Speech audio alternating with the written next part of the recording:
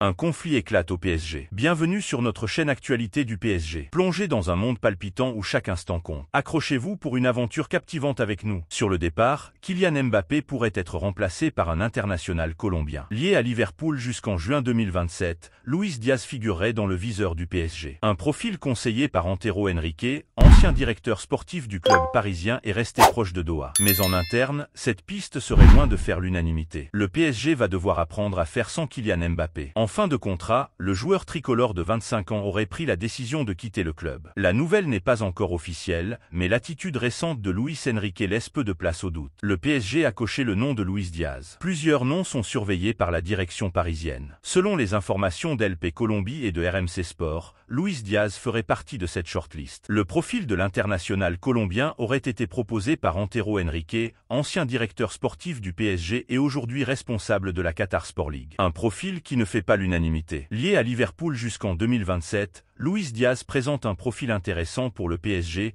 qui voudrait attirer un joueur offensif prêt à mouiller le maillot. Pourtant, ce dossier ne ferait pas l'unanimité en interne. La longue liste des potentiels successeurs de Mbappé devrait s'affiner à l'approche du mercato. La clean de Luis Enrique qui annonce du très lourd au PSG. Vainqueur de l'OGC Nice mercredi soir, 3 à 1, le PSG s'est hissé en demi-finale de la Coupe de France et poursuit donc sa progression en étant toujours en course dans toutes les compétitions. Et d'après Luis Enrique, ça va continuer dans le bon sens et l'équipe va poursuivre sa progression. De bon augure pour la suite du projet parisien. Mercredi soir, le PSG s'est hissé en demi-finale de la Coupe de France en dominant l'OGC Nice, 3 à 1. Par conséquent, le club de la capitale est toujours engagé dans toutes les compétitions tout en étant large leader de Ligue 1 avec 10 points d'avance sur Brest. Et pour Luis Enrique, c'est encore loin d'être terminé. En effet, après avoir annoncé lors de la première partie de saison que son équipe sera plus forte en février, le technicien espagnol continue d'affirmer que le PSG va encore progresser. Le football et le ballon rond qui roule sur la pelouse nous remet tous à notre place,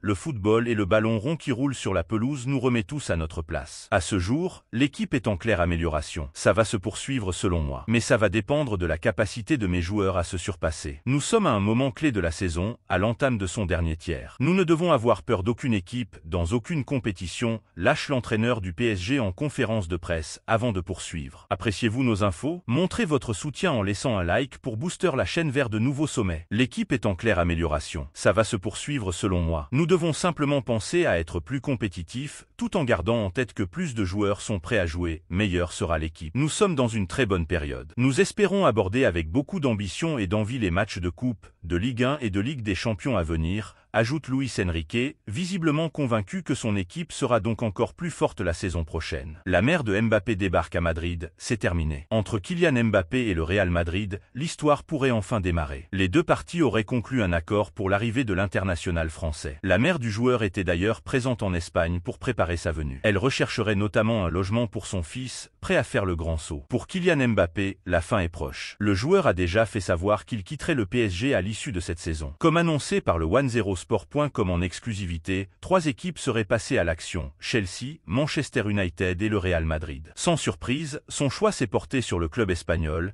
qui n'a jamais été aussi proche de rafler la mise dans ce dossier. Certains ne prennent même plus de pincettes et annoncent la fin de ce feuilleton. C'est notamment le cas de Roré Picon. La presse espagnole annonce un accord. Journaliste pour le média espagnol Relevo, il a laissé entendre qu'un accord avait été trouvé entre le clan Mbappé et le Real Madrid. Il y a des gens qui me disent que c'est bouclé, mais je suis prudent. Pratiquement tout le monde me prend pour acquis que cela va se faire. L'affaire est conclue, ils attendent que certains détails soient finalisés. Il serait normal de voir Mbappé au Real Madrid à partir de juin, a-t-il déclaré lors d'un live organisé par son confrère Ramon Alvarez de Mont. Faisal Amari se trouvait dans un hôtel à Madrid. Picon a d'ailleurs confirmé que la mère du joueur s'était rendue en Espagne pour régler les ultimes détails. Faisal Amari se trouvait dans un hôtel à Madrid et prenait des dispositions pour sa vie dans la capitale espagnole. Il cherchait des maisons, des questions de sécurité et tout le reste. Maintenant, il faut attendre, a-t-il confié. Ce n'est plus qu'une question de temps avant que le deal ne soit officialisé. Son calvaire prend fin au PSG, il vise du lourd. En cette année 2024, Luis Enrique peut compter sur un renfort de taille et très attendu en la personne de Nuno Mendes,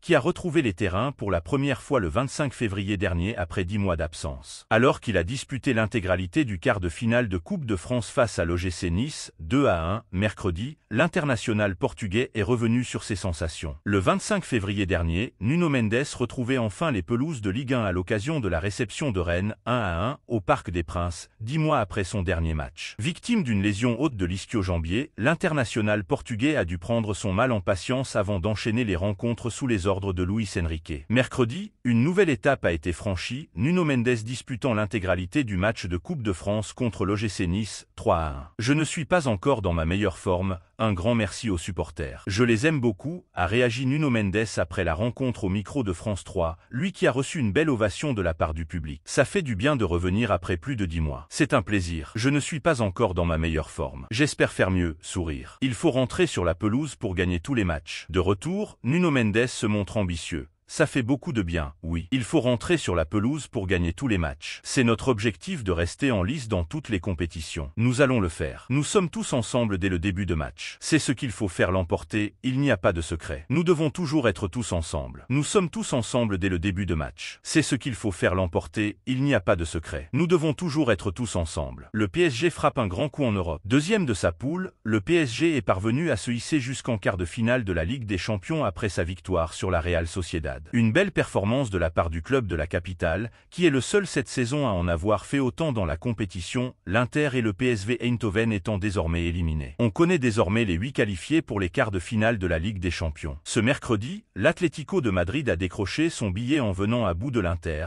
2 à 1 à point P3T à point B à 2, à domicile, tandis que le Borussia Dortmund s'est imposé dans le même temps à domicile contre le PSV Eindhoven, 2 à 0. Les deux clubs rejoignent ainsi Arsenal, le FC Barcelone, le Real Madrid, Manchester City, le Bayern Munich et le PSG, qui peut déjà se targuer d'un petit exploit européen. Le PSG est le seul deuxième de poule qualifié. Après les éliminations du FC Porto, Naples, de l'Inter et du PSV Eindhoven cette semaine, tous les deuxièmes de groupe ont pris la porte en Ligue des Champions, à l'exception du PSG, dauphin du Borussia Dortmund au terme d'une campagne délicate marquée par deux défaites contre Newcastle et l'AC Milan. Je n'ai pas de préférence sur le tirage. Le Paris Saint-Germain pourrait désormais retrouver le BVB en quart de finale, l'un des adversaires les plus accessibles sur le papier. Je n'ai pas de préférence sur le tirage de la Ligue des Champions, a néanmoins assuré Luis Enrique mercredi soir après la victoire en Coupe de France face à Nice, 3 à 1. Mais ce dont je suis sûr, c'est qu'aucune équipe ne souhaite tomber sur le PSG. Aucune. De toute façon, si on croit qu'il y a un tirage facile, on ne gagnera rien. Dembélé, le plan inattendu du PSG a fonctionné. Ce dimanche, Kylian Mbappé et Ousmane Dembélé n'ont joué qu'une vingtaine de minutes face au stade de Reims, et ce, parce que Luis Enrique voulait qu'ils soient en forme pour le quart de finale de la Coupe de France contre l'OGC Nice. Alors que les deux stars du PSG ont fait forte impression ce mercredi soir, cette stratégie a payé. Lors de la dernière journée de Ligue 1, Luis Enrique a décidé de ne pas titulariser Kylian Mbappé et Ousmane Dembélé. En effet, les deux stars du PSG n'ont joué qu'une vingtaine de minutes ce dimanche. Luis Enrique a reposé Mbappé et Dembélé contre Reims. Selon les informations du Parisien, Luis Enrique a fait ce choix avec Kylian Mbappé et Ousmane Dembélé pour préparer le choc des quarts de finale de la Coupe de France contre l'OGC Nice. À en croire le média français, le coach du PSG n'a en aucun cas sanctionné ou lancé un avertissement à ses deux attaquants. Un plan qui a porté ses fruits. Mbappé et Dembélé ont régalé contre Nice. Ce mercredi soir,